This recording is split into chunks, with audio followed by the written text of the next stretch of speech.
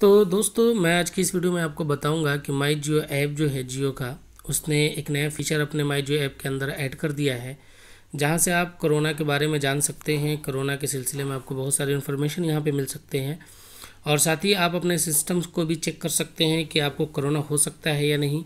ये सारी चीज़ें इस ऐप में आपको मिल जाएँगी। तो इसके लिए कोई ज़रूरी नहीं है कि आपके पास जियो का नंबर होना चाहिए।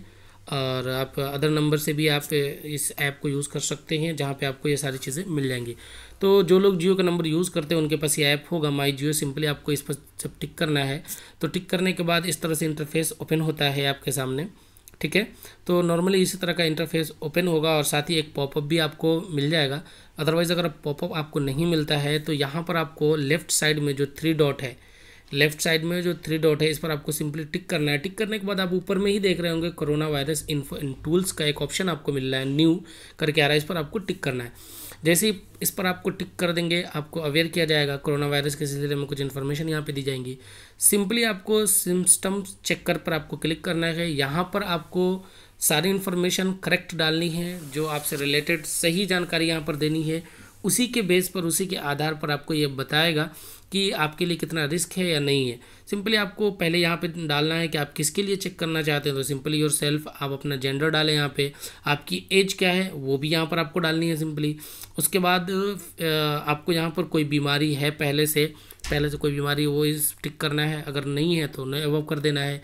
इसी तरीके से आप कहीं चौदह दिन के अंदर कहीं गए थे अदर कंट्री अगर हाँ तो उस पर टिक करें जहाँ भी गए थे। अगर नहीं तो फिर आपको अवॉव कर देना है। यहाँ पर इसी तरीके से सारी इन्फॉर्मेशन आपको करेक्ट डाल देनी है। डालने के बाद आपको लास्ट में ये बता देगा कि आपका जो कोरोना वायरस का जो सिम्स्टम है, कितना हाई है रिस्क है, क्या है, क्या नहीं है, आपको चेक करवाना चाहिए, नहीं करवाना चाहिए। एक मोटा मोटी जो इन्फॉर्मेशन आप इसको फिल करके देंगे, उसी के बेस पर, उसी के आधार पर आपको ये चीज़ें बताएगा। उसके बाद दूसरा ऑप्शन आपको मिलता है टेस्ट सेंटर यहाँ पे आप टिक करेंगे तो यहाँ पर पूरे इंडिया में जहाँ जहाँ टेस्ट सेंटर जो कोरोना वायरस के बनाए गए हैं, वो यहाँ पर आपको दिखने को मिल जाएगा। ये काफ़ी अच्छा फीचर्स है कि यहाँ पर आप ये जानकारी ले सकते हैं सिंपली अगर मैं बात करूँ तो यहाँ पर आप देख सकते हैं तकरीबन तकरीबन हर स्टेट यहाँ पर अवेलेबल है। जहाँ पर अगर मैं झारखंड की बात करूँ तो आप झारखंड में देख सकते हैं कितनी जगह है। अगर मैं बिहार की बात करूँ तो बिहार में आप देख सकते हैं यहाँ पर कौन कौन सी जगह है जहाँ पर आप कोरोना टेस्ट करवा सकते हैं। राजस्थान की बात करें तो इस तरह से सारी चीज़ें यहाँ पर अवेलेबल्स हैं, जहाँ पर आप इसे चेक कर सकते हैं ईजिली बहुत आसानी के साथ। अगर मैं दिल्ली की बात करूँ तो एक बार दिल्ली भी आप देख सकते हैं, दो जगहों पर है। इसके बाद अगर तीसरा जो इसमें दिया गया स्टेटिस्टिक्स है इसमें कि अब तक जो है इंडिया के अंदर कितने केसेस हुए हैं डेथ कितने हुए हैं और अभी तक लोग कितने सही हुए हैं, यहाँ पे आप देख सकते हैं एक्टिव केसेस अभी भी 640 है 17 लोगों की मौत हो चुकी है और 67 जो है, यहाँ पे रिकवर हो चुके हैं। और यहाँ पर कितने केसेस कहाँ कहाँ कितने केसेस हैं सारी चीज़ें इस पर आपको मिल जाती हैं। साथ ही इंडिया का ये स्टेटस मिल रहा अगर वर्ल्ड वाइड पर आप क्लिक करते हैं तो आप देख सकते हैं टोटल कन्फर्म जो केसेस है, पाँच लाख तैंतीस हज़ार इक्कीस केसेज ऑलरेडी आ चुके हैं इंडिया के अंदर। एक बहुत बड़ा आंकड़ा है।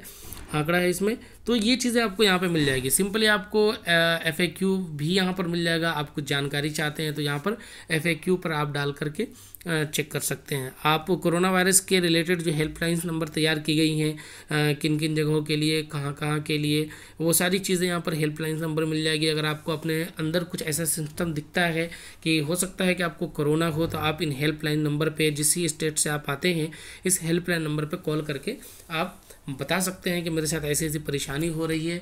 डॉक्टर्स वहाँ से आएँगे, आपको चेक किया जाएगा। अगर आपके अंदर कुछ ऐसा मिलता है तो आपको आइसोलेट किया जाएगा और आपको सेफ्टी दी जाएगी और आपको हॉस्पिटल ले जाया जाएगा, जहाँ पर आपकी जाँच होगी। और साथ ही उसके बाद अगर आपके अंदर पॉजिटिव पाया जाता है तो फिर आपके साथ ट्रीटमेंट किया जाएगा ताकि आप जल्द से जल्द अच्छे हो सके।